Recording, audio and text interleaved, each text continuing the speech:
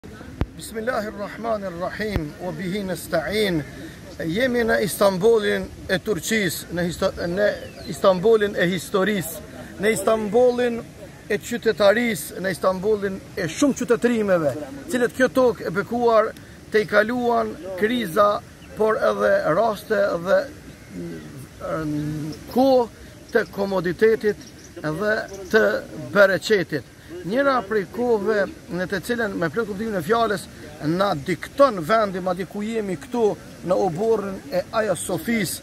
e cila me plot kuptimin e fjalës e ka një histori të jashtëzakonshme, e ka një histori shumë interesante, një histori mbresëlënëse për gjithë njerëzit qofshin të besimit islam apo edhe besimeve të tjera. Sepse ky objekt që gjendet edhe prapa meje këtu në sfond, në të kaluarën e tij të hershme, ishte nisur për një zonjë e cila kishte pasur emrin Sofia. Edhe ajo ishte e besimit të parë të besimit të Isaut të birit të Merjemes, jo në versionin e krishterë, por në versionin e vërtetë çfarë ishte vetë Sofia. Edhe me kalimin e kohës, perandoria e cila përqafoi besimin e krishterë të lajthitur, jo atë të cilin e thërriste dhe e propagandonte vetë Isau a.s. Por ai i cili ishte ardhë pas 400 viteve, kur madje edhe Inxhili ishte i tjetërsuar, ishte i ndryshuar nga origjinaliteti i tij, pra kjo është koncepti i besimit tonë islam rreth kësaj çështje, dhe me plot kuptimin e fjalës, ajo bie heroikisht pranë këtij vendi, edhe thuhet atje se ajo pas ka lutë Allahun e madh, që të vije një njeri i drejtë, Edhe këtë tempull të cilin ajo e ka pas ta shndërrojë në vendbanimin ose në vendadhurimin të them më mirë për krijuesin e gjithësisë i cili është Allahu. Ëndrra e saj u realizua në vitin 1453. Mirëpo, sa është hala ma interesant se ëndrra e saj prapë u realizua domethënë në vitin 2020 kur pas 84-5 viteve ky vend i cili ishte shndërru prej Ataturkut në muze u shndërrua në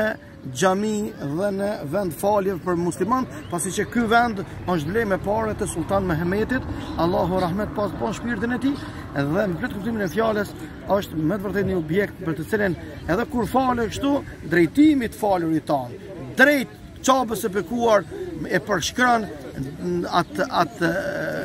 drejtimin edhe të Mesxhidul Aksasë në Jeruzalem, por edhe të xhamisë së pejgamberit alejhi salatu ves selam në Medine, edhe drejtpërdrejt lidhemi në Mekën e bekuar në tokën e shenjtë për të cilën neve është Qabja e madhnuar. Zoti i ruajtë, jau lehtësoftë, ndjesia të jesh vizitor i këtyre vendeve, me të vërtetë jep një relaks të jashtëzakonshëm, por edhe të kthen në një kujtesë të largët. Ta kujton Ismail Qemalin, ta kujton Hasan Prishtinën, ta kujton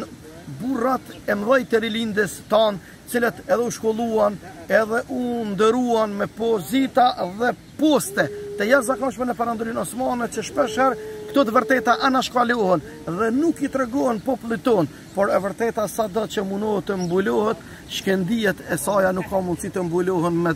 errësirën e territ. Jam i bindon se bijtë dhe bijat tona dhe trashëgimtarët tanë në shekullin 21 do ta zbulojnë edhe do të hulumtojnë dhe do të eksplorojnë në historinë të cilën një popull i cili nuk ka histori, nuk ka të ardhme të sigurt. Sado që e kemi historinë, për neve shpesh herë është e kamufluar sepse jetuam në një sistem komunist i cili gjithçka që ishte fetare, mos them edhe gjithçka që ishte islame, u mundua ta tjetërsojë dhe ta ta mbulojë me gënjeshtra edhe me manipulime të ndryshme. Mirëpo realiteti dhe e vërteta gjindet sepse këtu në këtë vend ka hise edhe kultura, edhe identiteti jonë shqiptar, sepse këtu u ndërtuan ato vetëdijet kombëtare që nesër kur nuk do të jetojmë së bashku me osmanët edhe me një me një organizim të asaj natyre çfarë ishte shteti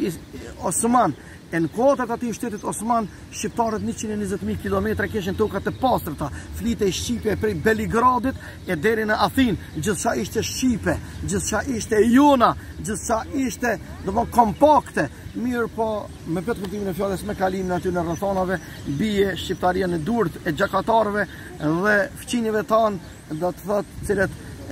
nuk nuk na bënë rahmet dhe u munduan të na gllabërojnë tërë tokat tona dhe arritëm me emrin e Allahut tebareke ue teala pas një vuajtje, pas një sakrifice të madhe, të vijmë këtu ku jemi ne sot dhe i lutem Zotit të Madh që të na mundëson Allahu tebareke ue teala ta dimë të vërtetën. Qoftë e mirë të gëzohemi, ruana Zot qoftë e keqe apo diçka e pakëndshme ta përmirësojmë aty ku ata gabuan, sepse mundësia është e artë që thotë populli rri shtremb e fol drejt. Ju lë në amanetin e Allahut dhe lus Allahun për shëndetin tuaj, për mirëqenien tuaj, për të mirën e bijve dhe bijave tuaja, që Allahu dhul xhelal të japë sukses dhe shëndeti dhe suksesi dhe udhëzimi i të madhit Zot të jetë shoqërues i yni dhe familjeve tona.